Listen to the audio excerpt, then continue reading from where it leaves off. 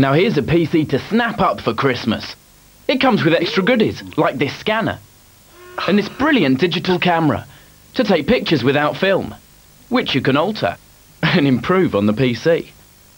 And print out on the colour printer included. The Tiny Home Studio system has an Intel Pentium 2 processor.